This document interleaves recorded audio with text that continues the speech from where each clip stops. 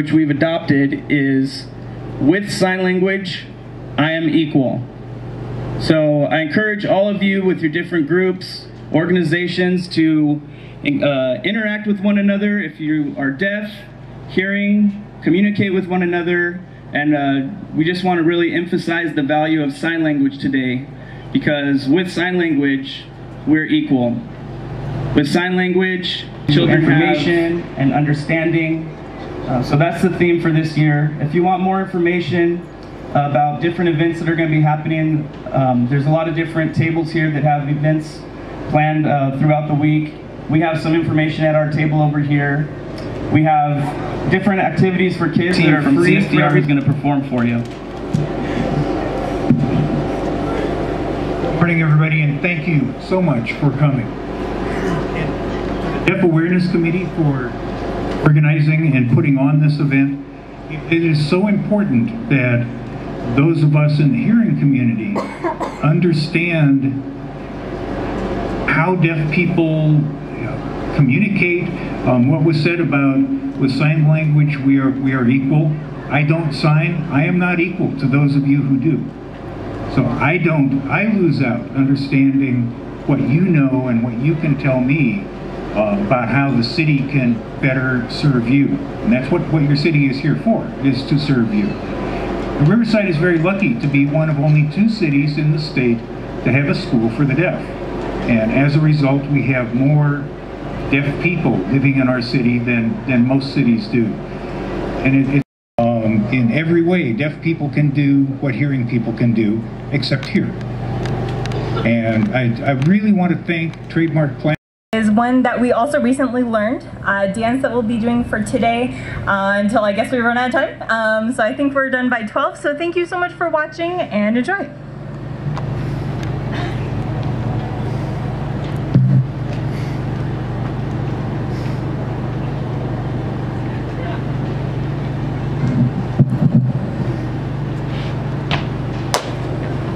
Go big, go big red.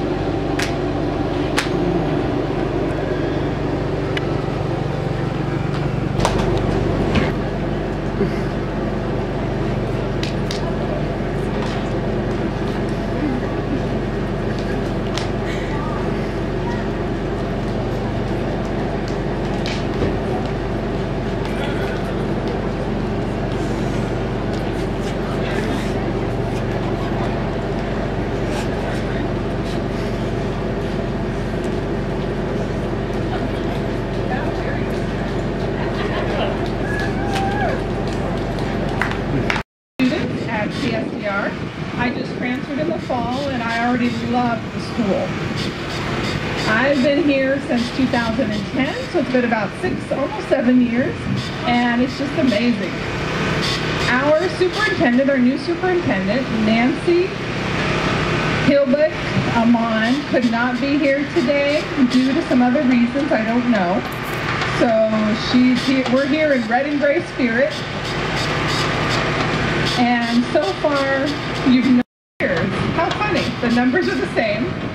And it's an interesting fact. The SDR campus is 63 acres, and it has, the school has been set up 63 years ago. What an interesting fact. 63 and 63. We have over 400 students, and we serve 11 different counties in Southern California. We serve Riverside, San Diego, Moreno Valley, so many, up into Santa Monica. So that's very cool. They just opened a new building called the CTE, the Career and Technology Education. They have cooking, computer science, they have mechanics, they have TV productions, we give plays. There are so many things. We have construction and mechanics and you can name it, we have it. If you'd like some more information, come to our open house on Tuesday, September 27th from 1.30 to 5. It's open to the public. You can ask questions, we'll answer them, and just enjoy yourself. And also you can see what the students are doing all day while they're in school. The students here at CSDR are amazing. Just to let you know, we're in sports, ASB, the Deaf Academic Bowl, all sorts of different ones. We've got, you've named it, we do it. We have so many different activities. Our activity director is Mike Anderson. He's right here with a big camera. And I would like to share a story now. I came to CSDR in fourth grade in 2010, and I've been Main Street my whole life until third grade. So I got to CSDR and I didn't sign at all. I was not in a signing environment and I was in an oral program. After two or three months, I am where I'm at today, especially I'm in the student body government. I'm involved in the Deaf Academic Bowl. I'm the president in 2019. All sorts of things that I love to be involved in different activities thanks to Mike Anderson. And I grew up in a mainstream program and I was very isolated. All my classmates were hearing. And I thought I would be alone for the rest of my life. And I thought, my parents said, why don't you transfer to CSDR? And I thought I would. And now I'm ready the future. I'm ready for the future thanks to CSDR. And I forgot to add, with the superintendent, we have a program called Early Childhood Education. And that's the Parents of Infant program. They have birth to pre-K, which covers 18 or 20 months, 18 to 20 months up until they graduate from high school. So it's amazing how many students that we get every year during the year. And we actually got 56 new students. We normally get about four or five, but this year we've gotten 56. So I hope it continues to expand. With our new superintendent, we're able to pull in more people. And the next five years, I'm sure we're going to grow, guaranteed. If you have any questions about the open house, you can go to CSDR, the booth over here. And there's some flyers about the open house. And if you have any questions, please feel free to ask us. And we will be sure to answer your questions. And thank you for watching. Also our gold sponsor, IEHP. And our silver sponsors, uh, thank you to Life Signs and Rise, who have donated their services for today. With sign language, we are all equal.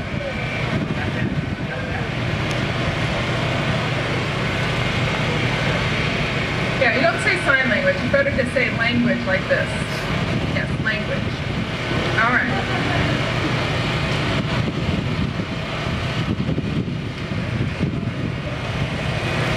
I learned another bit of sign language today, and I'd like everybody to do this to somebody that they don't know.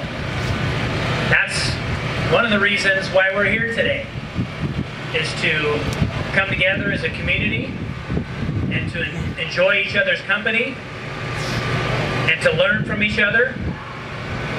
And so I hope that everybody can do this. Nice? to meet you. Nice to meet you. Thank you all. Thank you all for coming down. What a great place to celebrate community on Main Street, Riverside, underneath City Hall. I I kicked off Model Deaf Week with a bike ride today. There's some, some bikers here. They weren't on my ride. But there was a deaf family on the ride. And so it was, it was a great opportunity for the cultures to experience each other. The Bike Riverside uh, Bicycle Club, who's been around for 100 years, and this family that came out to ride for the first time with us. And that's truly the, the crux, the foundation of this Model Deaf Week is coming together and sharing our cultures and enjoying each other. So every year, this event serves as the kickoff for activities taking place all around the city, where hearing people can learn more about deaf culture. If you didn't know Riverside as home to one of just two schools for the deaf in the entire state of California. So who is here from California State uh, School of the Deaf, Riverside? Who's here? Applause for CSDR today coming down. Thank you. Riverside is among only a handful of cities nationwide that has a citywide committee focused specifically on raising awareness of deaf culture. So I want to recognize and say thank you to our Model Deaf committee members wearing blue shirts. Where is the Model Deaf? Raise your hands. If you come up on stage with me, Model Deaf committee members with your blue shirts, I want to recognize and thank you and give applause to our hard-working committee that puts this and other activities on all across the city. We celebrate diversity. In fact, diversity is one of our four core values. We recognize that our diversity is among the many things that makes Riverside great. So I'd like to acknowledge the contribution and the richness of the deaf community to our culture in Riverside. Here's my message to the hearing community. Who can hear me out there? Let me hear you. To the hearing community, I challenge you to find ways to break down barriers between the hearing and the deaf. Look for ways in which you and your business can be more deaf friendly. We're going to recognize one of those businesses today that's done an incredible job of embracing the deaf community and culture and hiring more than 22 deaf individuals here in Riverside. To the deaf community, my challenge to you is to get more involved. Make sure your city leaders, like me, are aware of obstacles that you face on a daily basis. Attend a model deaf committee meeting, and if you want to know when those meetings occur, you see the individuals that come at least each month and plan events like this and find out ways how we can we can bridge the gap and be more like a family in Riverside. So, with that, I'm going to turn this microphone back over to Ian Barraza, the chair of the Riverside Model, Model Deaf Community Committee. He's going to announce the Riverside Deaf Friendly Awards for individuals and organizations who have made it part of an everyday practice in welcoming the deaf community here in Riverside. God bless you all, and God bless Riverside.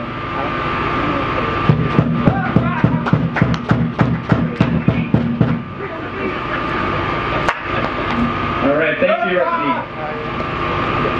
So every year, we like to recognize different businesses, organizations, and individuals who have contributed in some way to make Riverside a more deaf-friendly place to live. Um, whether it's through hiring or interacting with customers, um, you know, every year we like to recognize at least a couple different groups or individuals, like I mentioned. So, um, if we did reach out to you, uh, if you could come over to the stage so we could recognize you at this point. Um, I'm not sure, I haven't heard uh, from the Riverside Plaza businesses, but there's many businesses at Riverside Plaza that we wanted to recognize for being deaf friendly. Um, did you want to add to that? Name? Like the different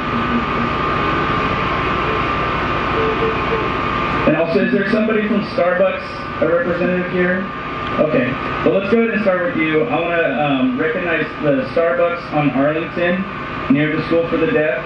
Um, it was brought to our attention that they've done quite a few things to make Riverside more uh, deaf-friendly. Uh, so,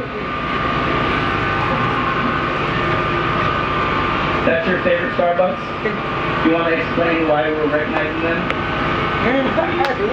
This is Lisa. Please welcome. She's shy, but I'm going to force her to talk. Hello, hello. Good afternoon. Thank you for coming. And Starbucks, the reason why I like them is I pull up and I can sign and I get my my drink and it's very nice and friendly and really in Riverside, the Riverside community, a more friendly community. You may live in different cities and I'll say, oh, they're deaf. What do I do? How do I communicate with them? But here we communicate just fine. So Starbucks has made it happen. Not only that, Riverside Community, Riverside Plaza, all over Riverside. You've made this happen. You are included. Thank you for coming and supporting us. Thank you. And Ian, where are you? There you are.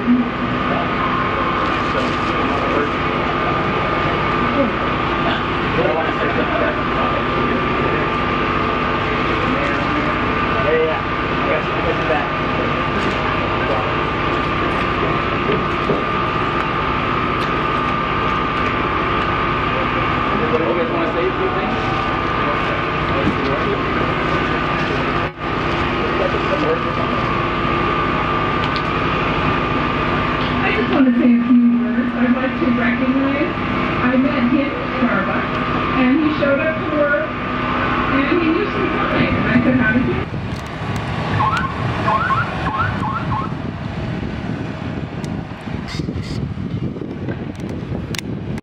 playing. Uh, I want to say 44 years now. Wow, I lost count myself. I can't believe it. And you keep going and going. So are you ready to start? Go ahead and get started. Okay, come on.